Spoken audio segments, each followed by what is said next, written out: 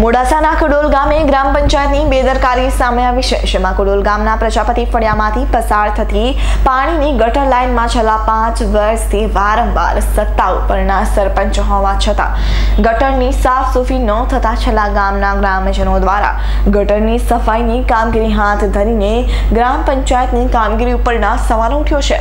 ગ્રામજનોએ જણાવ્યું છે કે વર્ષમાં એકવાર લેખિતમાં અને મૌખિક રીતે ગટરની સાફ સફાઈની કામગીરી અંગે જણાવ્યું તો છીએ. પણ ગામના તલાટી સરપંચ કે વોર્ડના સભ્યો આ વાતને લઈને કોઈ ધ્યાન પર ન લેતા માત્ર ને માત્ર પંચાયતની ગ્રાન્ટ લેવા ખોટા ખોટા બિલો બનાવી ગટર પરની ઘાસ કાપીને બિલો પાસ કરાયા હોવાના ગ્રામજનોએ આક્ષેપો કર્યા છે. સાથે ગટર ખુલ્લી હોવાથી નાના બાળકો પણ પડી જવાના બનાવો પણ બન્યા હોવાની સાથે ગટરનું દુર્ગંધ પાણીથી મચ્છર અને રોગચાળો ફાટી નીકળે તેવી શક્યતા રહેલી છે.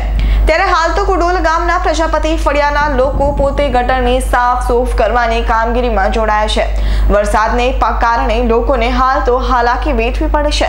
ગટરમાં પાણી જવાનો માર્ગ બંધ થઈ જતા ગટરનું ગંદુ પાણી ગ્રામજનોના આંગણામાં અને વરસાદી પાણી ભરાઈ જતા ત્રસ્ત બનતા ગ્રામજનોએ ગ્રામ પંચાયતની આશા છોડીને ગામની પાણીની ગટરને સફાઈ કરીને આવા ગામમાં તાલુકા વિકાસ અધિકારી, જિલ્લા વિકાસ અધિકારી કે વહીવટી તંત્ર દ્વારા તપાસ કરવામાં આવી તેવી લોક માંગ કરી રહ્યા છે. અમે કુડોલ ગામના નીચેના વિસ્તાર પ્રજાપતિ ફળિયાના તમામ નાગરિકો ભેગા થયેલા છીએ. આજરોજ લગભગ છેલ્લા પંદર વર્ષથી અમારા પ્રજાપતિ ફળિયાના પાણીના નિકાલ માટે પંચાયત દ્વારા ગટર બનાવેલી છે. દર વર્ષે એક વખત લેખિતમાં રજૂઆત કરીએ, મૌખિકમાં રજૂઆત કરીએ તલાટીશ્રી સરપંચશ્રીને ડેપ્યુટી સરપંચશ્રીને વોર્ડના સભ્યશ્રીને રજૂઆત કરીએ, તેમ છતાં ગટરનું કામકાજ સફાઈનું કરવામાં આવતું નથી. ચોમાસા દરમિયાન વરસાદ આવતો પાણી જાતે આજરોજ આ સફાઈનું આયોજન કર્યું છે. સફાઈના, સફાઈ કરતા હતા દરમિયાન સરપંચશ્રીને અકર્યા તો સરપંચશ્રીને એવું કીધું કે ભાઈ મારો ટેન્ડર પૂરો થઈ ગયો છે અને અત્યારે વહીવટદાર તરીકે તલાટીશ્રી છે. તલાટીશ્રીને તમારે જે કહેવું હોય કહેજો. હવે આ સરપંચ પોતે પાંચ વર્ષ કામગીરી કરી છે, પણ એક વર, એક વખત આ ગટર સાફ કરવા માટેની કોઈ કામગીરી કરી નથી.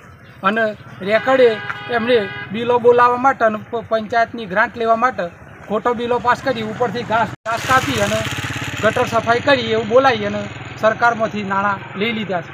હવે આજે તમે જોઈ શકો છો કે આ લગભગ ત્રણ ટ્રેક્ટર પર આ એટલો કચરો કાઢ્યો છે. હજી બીજો કચરો લગભગ બીજો પોચ ટ્રેક્ટર નીકળે એટલો કચરો હજી અંદરથી કાઢવાનો છે.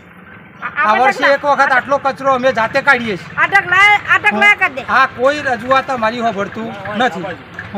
અને કોઈ પણ સર પંચાયતના ચૂંટાયેલા માણસ એવું કહે છે કે ભાઈ અમે તો આ કરાવી દીધું છે. પણ ક્યારે અમારા આ બધા ઉંમરલાયક માણસો ઘેર ચોવીસે ચોવીસ કલાક રહેવાવાળા સિત્તેર એક્યાસી વર્ષના વૃદ્ધ માણસો છે. એ માણસો ઘેર ખાઈ પીને ઘેર જ બેસી છે. પણ એમને ખબર નથી કે પંચાયતના માણસો ક્યારે આવ્યા હતા અને ક્યારે આ રસ્તો કરી જયદીપ ભાટિયાનો રિપોર્ટ એસ ન્યૂઝ અરવલ્લી.